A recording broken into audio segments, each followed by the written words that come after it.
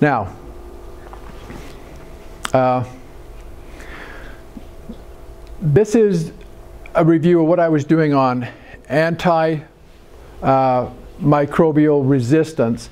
And the whole story behind this, I'll, I'll just kind of tell you this before we break for lunch.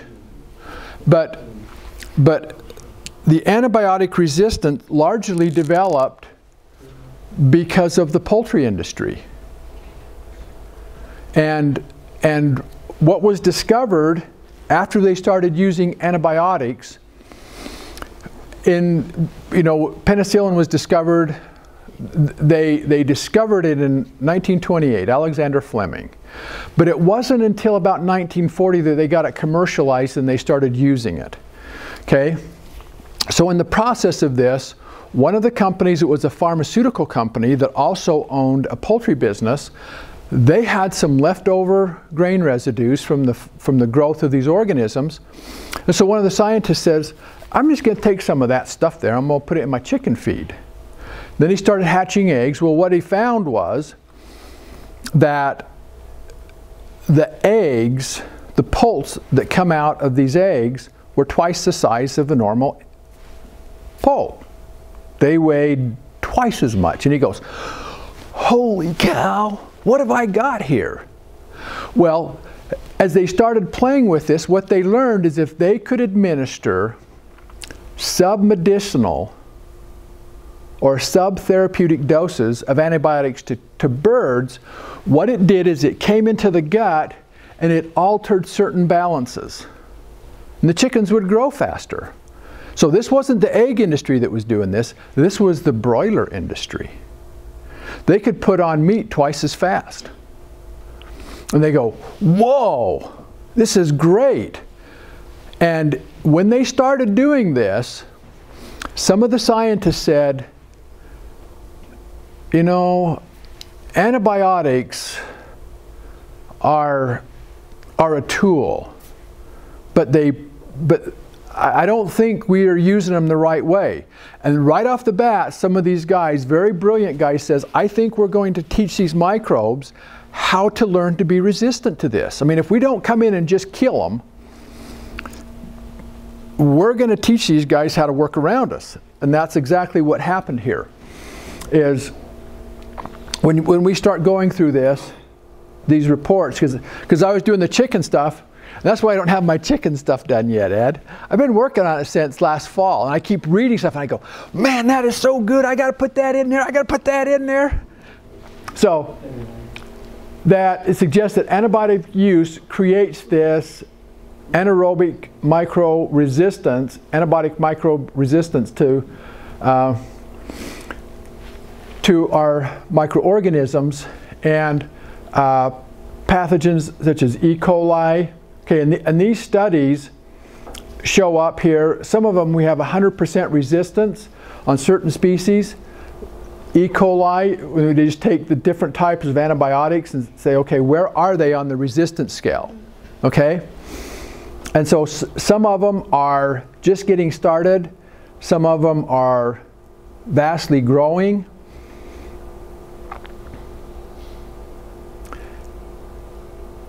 And as and, and so initially in the poultry industry, the antibiotics used were were just to promote growth. They were never as an antibiotic. They were never trying to cure a disease. They didn't have them.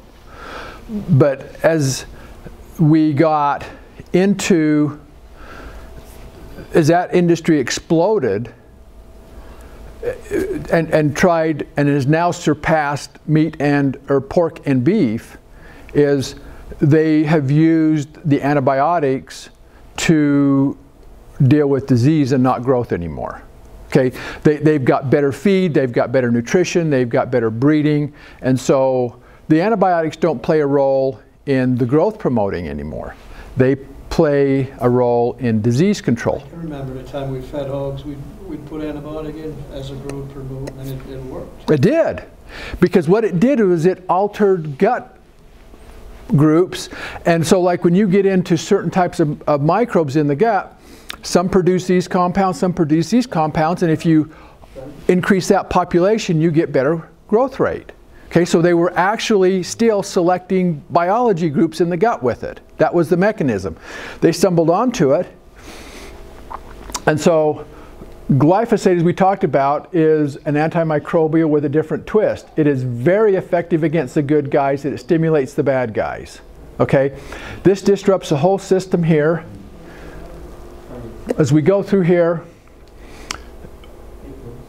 we control the bad guys by outcompeting the pathogens with beneficials. These are probiotic trace minerals, and that is the way you, you run these systems. Okay, so right now, this is current 23,000, uh, and so th this is really a fascinating story of how all this cool stuff migrated. As, as these guys put these antibiotics out there as these growth promoters, I mean, it worked really well. And then the scientists that were even part of some of these original studies started noticing that it wouldn't kill certain organisms anymore. And it wasn't until into the 60s that they realized that through the antibiotics they were putting in the poultry baths when they were killing them in the slaughterhouses, the workers were getting infected and and they thought, well, if we put antibiotics on the meat, it'll last for a month in the fridge and it'll never spoil. And so people were getting loads and loads and loads of antibiotics. When the antibiotics first got discovered, we were putting it in lotions and face creams and makeup. I mean, it was like, wow, this is so cool, we'll never ever get sick. And so we got exposed to a lot of these antibiotics. But what happened was, is we trained a lot of microbes out there, E. coli, Salmonella, Strep, Staph, you know, where MRSA came from, they became antibiotic resistant. And now they don't respond to antibiotics. And what they figured out was, and it took till 1965 until they figured this out. And it was a Japanese researcher by the name of uh, Watanabe that figured out that when a bacteria died, part of it snippet gene could be reabsorbed by another bacteria and that bacteria having never experienced penicillin, tetramycin, erythromycin, had the resistance. So it was spreading from microorganism to microorganism, not from the actual experience. So they were having all of these outbreaks pop up where there was never any poultry industry, never any connection to the actual use of antibiotics.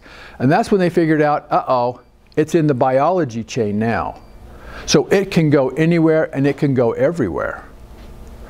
And so that's kind of how our anti our antibiotic microbial resistance started was out of this low dose growth promoter type thing. And so now what we have, and this picture only gets a little worse every year, but we 23,000 Americans die from this every year. That's 63 a day. So while we've been here this morning, we've lost about 30 people somewhere from antibiotic resistance. 25,000 Europeans die from this. 63,000 infant deaths right now a year in India. 2 million Americans get to go to the doctor or hospital. 48 million Americans get foodborne diseases every year. Some of these from our good friend pathogens. 700,000 die globally. We're pushing, if we keep going in a few years, we'll be at a million.